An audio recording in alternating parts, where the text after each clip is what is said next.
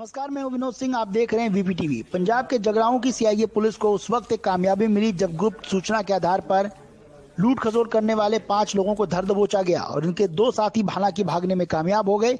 Police ने इनके पास से कई कंप्यूटर मॉनिटर और प्रिंटर, साथ ही छह मोटरसाइकिलें और चार एयर कंडीशनर के साथ एक स्विफ्ट कार भी बरामद की है। दोषियों से तैतीस हज़ार रुपए की नकदी, एक पिस्तौल और एक बंदूक, बारह बोर की भी बरामद किए गए हैं। पुलिस ने इनके खिलाफ मामला दर्ज करके आगे की कार्रवाई शुरू कर दी है। जगराओं पुलिस के डीएसपी डी संतनाम सिंह ने प्रेस को जानकारी देते हुए बताया कि यह गिरोह पिछले काफ़ी समय से जगरांव और आसपास के इलाके में लूट खसोट की वारदातों को अंजाम दे रहा था और जगराओं में बने सुविधा सेंटरों के कंप्यूटर चोरी करता था। इनके पास से छह मोटरसाइकिल, कई कंप्यूटर और असला के साथ साथ एक स्विफ्ट कार भी बरामद की गई है। इन दोषियों पर जगराओं नज़दीक मुल्लापुर और रायकोट के समेत संगरूर के पुलिस स्टेशन में कई आपराधिक मामले दर्ज हैं। हमने इन दोषियों को कोर्ट में पेश करके रिमांड हासिल कर लिया है और इनसे अब पुलिस बारीकी से पूछताछ कर रही है।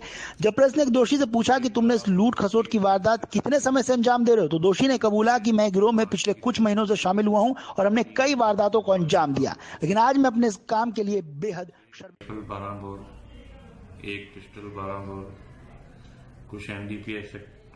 बरामद हुआ और उन्होंने पिछले समय में काफ़ी चोरियाँ की थी।